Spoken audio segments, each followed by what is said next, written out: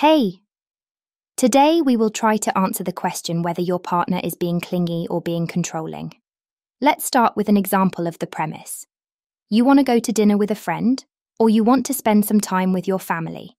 But suddenly, your partner asks you to have dinner with them when the time comes, even though he or she knew about your plans beforehand.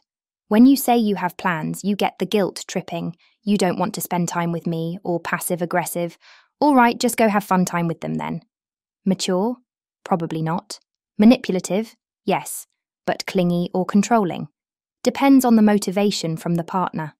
Clingy partners are motivated by anxiety. They need the closeness, validations, and affection to deal with the anxiety they are feeling.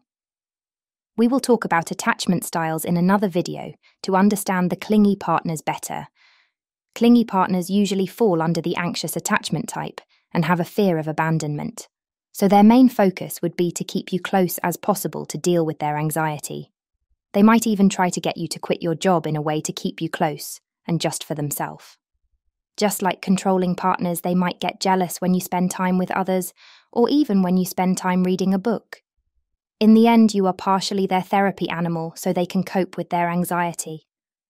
Controlling partners, on the other hand, would probably try to control different aspects of your life. So they would not just try to get you to quit your job or isolate you from your friends and family using manipulative tactics, but they will also try to control things like what you wear, what you eat, when you come home, etc. Controlling partners are usually motivated by their need to dominate. It's their way of dealing with their insecurities and feeling superior. Another way to tell the difference is when you set boundaries, both types of partners will try to cross the boundaries. But the clingy partners would usually act sad, sulky, or reactive about your boundaries. Controlling partners would mainly be reactive. Controlling partners are considered manipulative with malicious intent, while clingy partners are manipulative without malicious intent.